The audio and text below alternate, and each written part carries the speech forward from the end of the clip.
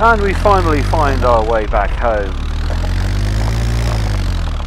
Ah, we are already there? Yeah. I thought we were still far off. Hey, this is this is the speed of the ATV. If you let me get off, I can like not get seasick anymore.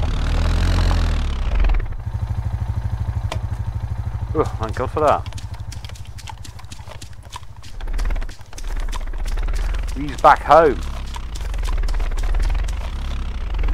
Put it in the car park. Oh, the brake lights come on. I love the fact that brake lights come on.